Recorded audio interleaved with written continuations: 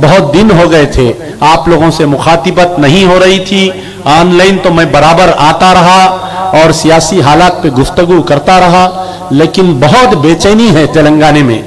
तेलंगाने के हालात में इतनी बेचैनी है और हमारी क़्यादत, खास तौर पर तेलंगाने की, वो मुस्लिम क़्यादत कल तक इस बात का दावा करती थी कि मर्दाना क्यादत होने का दावा करती थी, आज एक जंखों की फौज हो गई।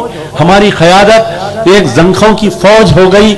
इस बात का सबूत है कि हमारी इबादत गाहों को तोड़ दिया जा रहा है। हिंदुस्तान में बीजेपी सरकार जहाँ पर है, उत्तर प्रदेश में बीजेपी सरकार है, मध्य प्रदेश में बीजेपी सरकार है, वहाँ पर इतनी हिम्मत नहीं हो रही है, लेकिन यहाँ पर तेलंगाना के केसीआर की गवर्नमेंट की इतनी हिम्मत हो गई कि हमारी मस्जिदों को शहीद कर दिया गया। यकीनन हम उस मस्जिदों को नहीं भूले। इस वबा के जैसे ही खत्म होगा, मस्जिदों के ताल्लुक से मंजलित बचाओ तहरीक बड़े पैमाने पर एहतजाज करेगी। आप लोगों का ताउन साथ रहेगा, जैसा कि सबका में हमारे साथ रहा। हमने मस्जिद हाशमी, मस्जिद दफ्तरिया, सेक्रेटेरिएट की शहादत का बदला लेना है। हमको यकीनन, हमको एक खाना मस्जिद का बदला लेना है। याद रखो मुसलमानों, अगर इस मस्जिदों के ऊपर तेलंगाना के मुसलमान अगर एहतजाज नहीं करेंगे तो रोज़े मशर अल्लाह ताला तुमसे सवाल करेगा। रोज़े मशर मैं रोज़े महशर आपको इसका जवाब देना पड़ेगा। कि अल्लाह के घर में, जहाँ पर सैकड़ों सालों सौ सौ साल हयाल सलाह, हयाल फला की जहाँ पर आवाज़ें गूंजी, जहाँ पर उम्मत मोहम्मदिया ने अपने सजदे वहाँ पर किए, उस मस्जिद को इस जलील चीफ मिनिस्टर, ये हरानी चीफ मिनिस्टर ने उस, और ये लोग कह रहे हैं कि गलती से मसाजिद को शहीद कर दिया गया। मेरे भाई, कोई गलती नहीं। इसकी planning chief minister KCR के टेबल पर हुई और चीफ मिनिस्टर ने यह ऐलान किया कि वास्तु के हैसियत से अगर बिल्डिंग को बनाना है तो मस्जिदों को शहीद कर दो। अब ये अल्लाह जानता है कि ये मुस्लिम क़यादत इसके अंदर मुलविस है या नहीं है, लेकिन सबका बाबरी मस्जिद का अगर रिकॉर्ड देखे तो इनके खानदान, अफराद खानदान, दर खानदान मुलविस थे इनो भी मुलविस है। और इसका हमको बदला लेना है। चाहे वो मस्जिद हाशमी हो, चाहे वो मस्जिद दफातिर हो, चाहे वो मस्जिद एक खाना हो, और चाहे वो कोत्तागुड़म की फॉरेस्ट की मस्जिद हो, चाहे वो आशुर खाना हो, तेलंगाना के मुसलमान इंशाला इंशाला इंशाला बहुत जल्द हम उसका बदला लेंगे। बहुत जल्द बदला लेंगे। वो पीवी नरसिम्हा राव, जिसकी लाश को कुत्तों ने खाया इस केसीआर की लाश को सुवर खाएँगे, ये मेरा दावा है, याद रख लीजिए। कल तक जो चीफ मिनिस्टर ये दावा करता था, राजशेखर रेड्डी 10 मिनट 6 मिनट पहले का वीडियो देखिए।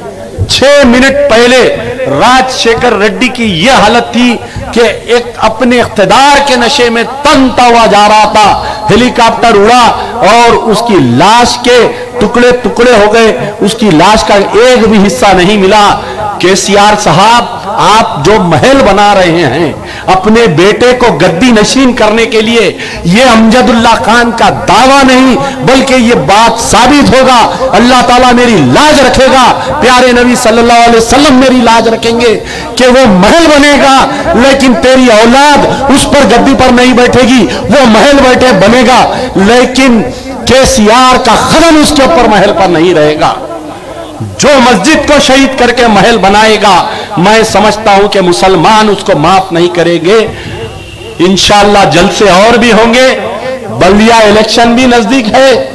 तो आ जाइए, केसीआर साहब वन फॉर वन हो जाएगा इंशाला आइंदा इलेक्शन में।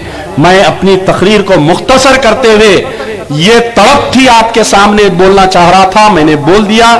अब वो जो मुसलमान हैं अगर वो अब सच्चा मुसलमान है, सरकार दोलम सल्लल्लाहु वसल्लम का उम्मती है तो मैं समझता हूँ कि मस्जिद की शहादत के ऊपर एहतजाज करेगा और आने वाले बल्दिया इलेक्शन में केसीआर को एक वोट नहीं मिलेगा। पूरे तेलंगाना में कोई मुसलमान अगर ओढ़ देगा तो रोज़े मैशर अमजदुल्ला खान उसको गिरफ़्तार करेगा, उसको पकड़ेगा, उसका दामन पकड़ेगा और यह बात का ऐलान करेगा क्या अल्लाह, मैंने इस उम्मत मोहम्मदिया को ऐलान किया था कि केसीआर से बदला लो, बटन दबाओ, लेकिन इन्होंने केसी, अरे बड़ी हैरत की बात है, बड़े हैरत की बात है कि हमारे पास एक मुसलमान होम मिनिस्टर है, बड़े हैरत की बात है, बेचारे कल उस्मान नगर डूब रहा है मेरे भाई। आज दो महीने से एक हज़ार मकान परेशान है। एक बंदा फ़ोन करता है तो चीफ में, होम मिनिस्टर पूछते हैं कि शाहीन नगर किधर है, उस्मान नगर किधर है? वाह वाह, देखिए, होम मिनिस्टर किसको बनाया गया? कौन से चूचू के मुरब्बे को लाके होम मिनिस्टर बना के रखा गया? कौन से जलील इंसान को लाके होम मिनिस्टर बना के रखा गया? ये बड़ी तकलीफ़ हो रही है आज तेलंगाना में।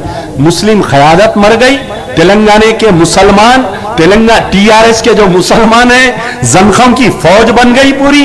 कोई जबान नहीं, कोई आवाज़ नहीं, कोई एहतजाज नहीं, एनकाउंटर हो जा रही कोई एहतजाज नहीं।